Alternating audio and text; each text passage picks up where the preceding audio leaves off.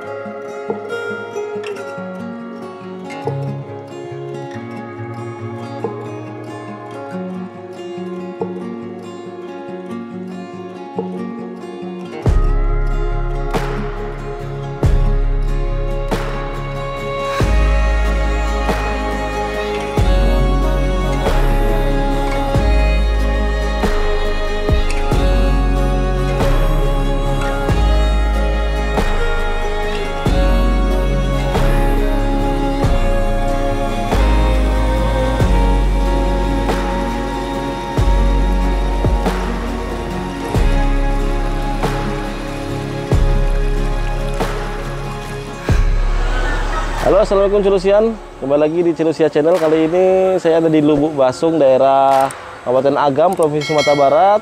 Nah, di sini ada hal yang menarik ya. Ada ini saluran irigasi depan saya ini. Nah, saluran irigasi ini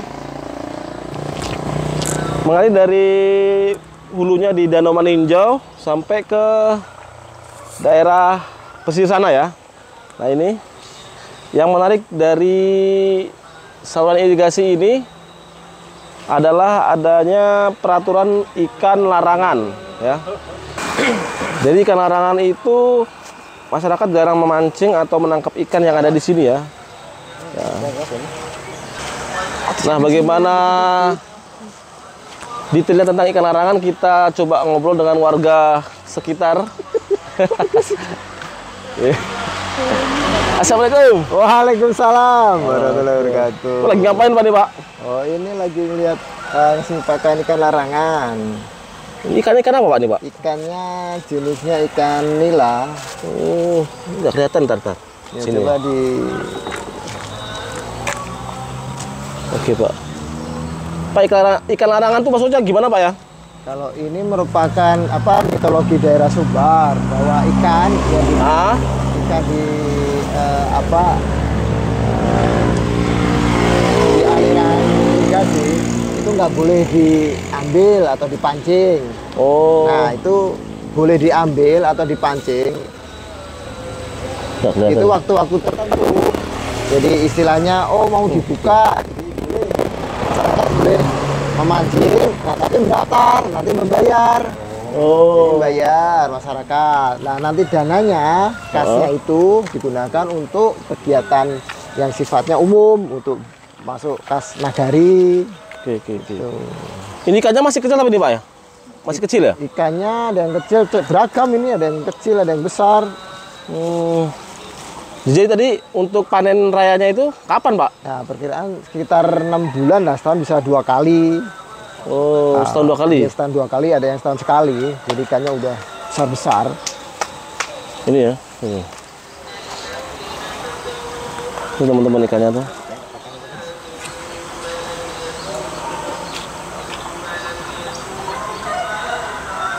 Oke.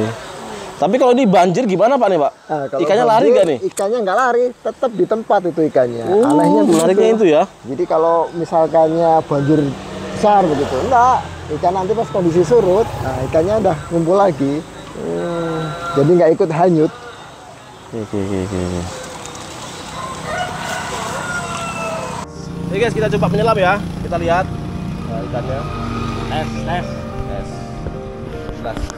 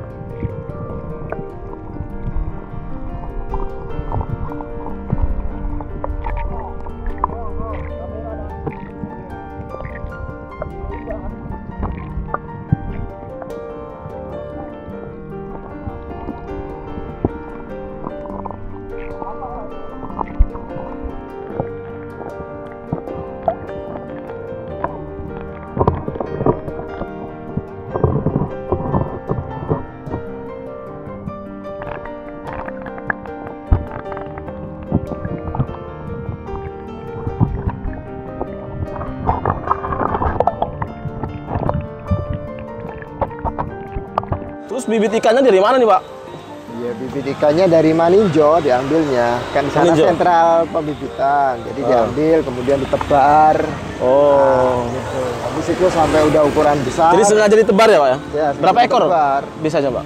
Ya, tergantung ada sampai tiga lima puluh ribu, seratus ribu. Oh. Seratus ribu? Iya, Di ujung sana ya? Di ujung sana Pak? Mulainya? ya dari Atau- ujung. Karena hampir nanti ini dari ujung sini sampai ujung sana Oh. arahnya setiap saluran. Jadi saluran irigasi penuh. Tadi kalau ada yang ketahuan mancing atau ini gimana Pak? Ini hukum masyarakat aja. Kayaknya nanti takutnya terjadi sesuatu lah. Oh jadi takut masyarakat bukan takut sama sanksi, takutnya sama kayak kualat gitu Pak ya? Kualat Ya, gitu ya? Kualat lah. Nanti ikan nah, ngambil nanti terjadi sesuatu. Jadi mereka juga akhirnya pada menjaga Oh. ya ngambil ikan. Sudah ada kejadian Pak yang dengar-dengar? Kejadian sih belum. Cuma mungkin sudah tapi nggak ketahuan begitu.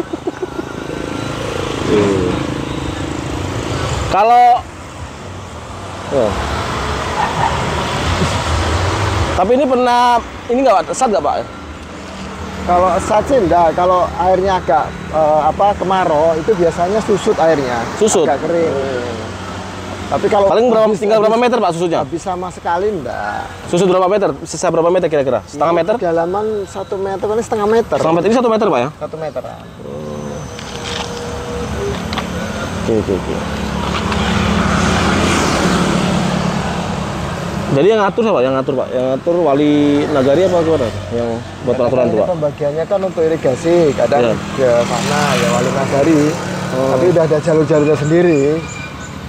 Ini kan dari Maninjo sampai ke Maninjo, ini Sampai pesisir? Pembuangannya sampai pesisir berarti sampai sampai apa muaranya di pantai. Pantainya berarti ini ke ke daerah oh belum belum masih masih masih daerah Lubupa ini apa? Daerah Agam. Ragam ya? Iya. Jalan. Oh iya sungai.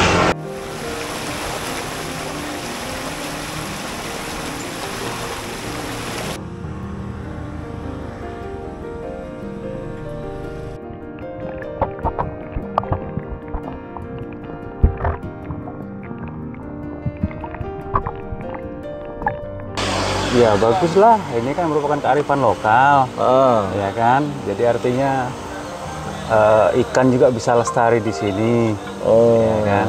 Bagus. Ya Tapi kan nanti kan tetap ujung-ujungnya kan dipanen bareng ya. panen bareng.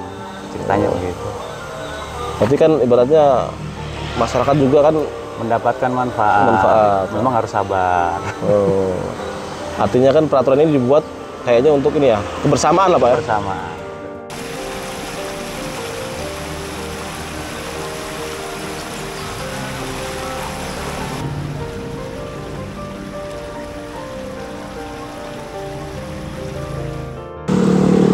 Gimana Pak Agus tanggapannya ini eh, dengan aturan ikan larangan seperti ini? Ya itu bagus untuk pertama ada bentuk eh, respon yang baik terhadap dari masyarakat sekitar. Jadi ada tanggung jawab terhadap air harus bagus karena ada ikan di situ. Kemudian eh, kebersamaan komunikasi antara yang lain meles- tetap melestarikan. Ini kan sebenarnya adat ya adat budaya Kearifan yang lokal, lokal. Kearifan lokal ya. kearifan lokal betul. Jadi eh, ada nanti kalau saat panen kan saat mancing-mancing bareng nah di situ eh, bukti kebersamaan itu ada. Saling asa saling asuh itu muncul karena ada eh, kegiatan ikan saat panennya. Kemudian eh, pelestariannya juga bagus di mana orang nggak sembarangan buang sampah. Lihat ininya kan bersih ya bersih. Nggak ada apa sampah. gitu. Terus peduli dari rumah-rumah juga apa eh, Bersih, nggak ada sampah, bersih nggak ada sampah sama sekali. Jadi juga orang nggak ada nih. nah ini hanya di sana ada perumahan juga udah hanya air aja ke sini gitu Jadi bagus untuk pelestarian dan eh,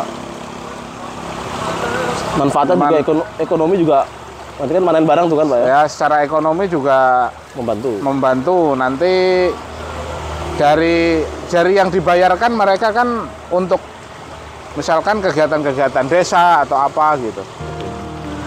Jadi lebih Perlu ditiru nggak ke wilayah lain Pak? Kayak gini Pak, misalnya yang ada perlu cuma ini kalau untuk ditiru tempat lain nggak gampang karena me- gini. harus kompak ya Pak? harus kompak semua semua warga. Kalau di sini sudah terbentuk lama jadi Ini hebatnya masyarakat Minang ya. ya Minang. Masyarakat Minang hebatnya ini nih, Ya bisa kompak. bisa kompaknya. Oke. Oke guys, itu tadi tentang ikan arangan yang ada di Lubasung, Kabupaten Agam ya. Ini luar biasa sekali. Sebuah aluan irigasi yang di mana ikannya itu di eh, dijaga ya. Jadi dilarang untuk dipancing di- atau ditangkap, tetapi eh, nantinya tetap bisa dimanfaatkan atau di- diambil ikannya ketika sudah besar-besar gitu kan. Ya. Oke, terima kasih channel telah menonton video ini. Jangan lupa like, komen, dan subscribe. Terima kasih.